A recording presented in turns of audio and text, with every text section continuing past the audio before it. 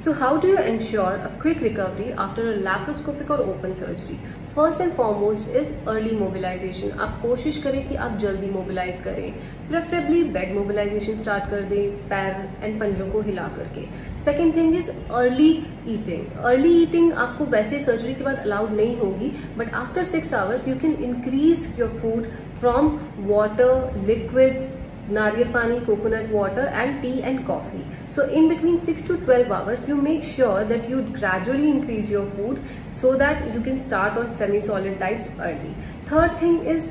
catheter removal preferably छोटी surgeries के लिए कैथेटर नहीं जाना जाता है बट अगर आपने अर्ली मोबिलाइजेशन कर लिया so it will be easy for your doctor to remove your catheter early fourth and a very important thing is preoperatively you have to improve your strength आप अगर एक्सरसाइज करते हैं proper diet लेते हैं, या अगर आपको कोई मेडिकल कंडीशन है, उसका पहले ही ट्रीटमेंट ले लेते हैं so post surgery it becomes very much easy for us to discharge you early so make yourself healthy preoperatively so that you are healthier postoperatively thank you